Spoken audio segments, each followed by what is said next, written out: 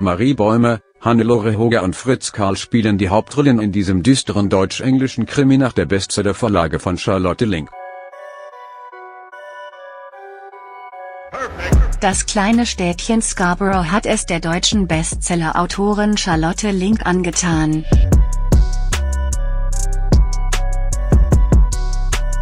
In einem Interview verriet die 55-Jährige einst, sie habe die Kleinstadt im Nordosten Englands zufällig entdeckt, weil sie sich vollkommen verfahren hatte.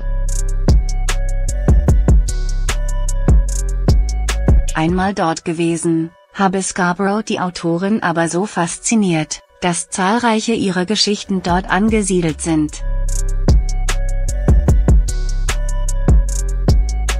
So auch die Verfilmung ihres Romans Das andere Kind.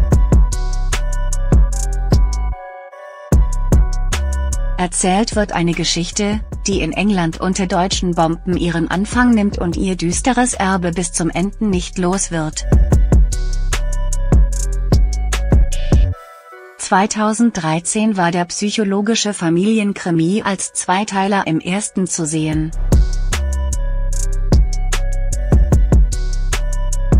Arte zeigt ihn nun in der vollen Länge von fast drei Stunden am Stück.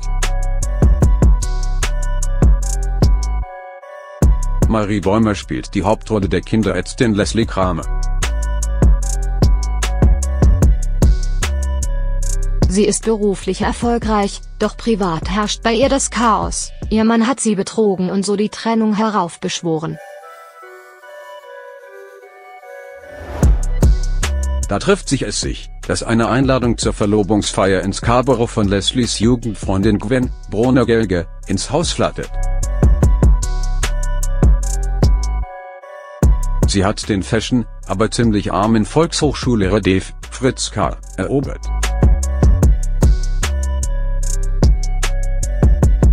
Leslie packt hoffnungsvoll die Koffer und reist zum Fest.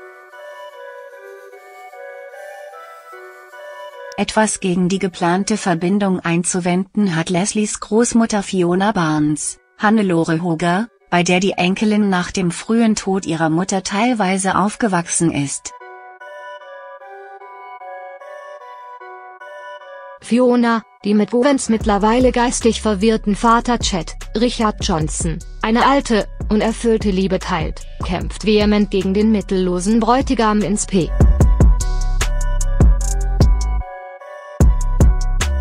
Der hat es ihrer Meinung nach nur aufs Geld der Familie abgesehen. Als Leslie in Scarborough eintrifft, ist ein Mord passiert. Eine Studentin wurde grausam abgeschlachtet. Kaum ist Leslie bei der Verlobungsfeier im familiären Kreis angekommen, ereignet sich ein zweiter Todesfall, diesmal mitten in der Familie. Ein zweiter Erzählstrang des Films berichtet vom gemeinsamen Aufwachsen Fionas und Chets. Das Londoner Mädchen, Chloe Jane Wilkinson. Wird während der Bombennächte im Zweiten Weltkrieg aufs Land nach Scarborough evakuiert und kommt so in die Familie von Einzelkind Chet, Tom Weston. Aus kindlichen Spielgefährten wird eine junge Liebe, doch bald zieht Chet in den Krieg.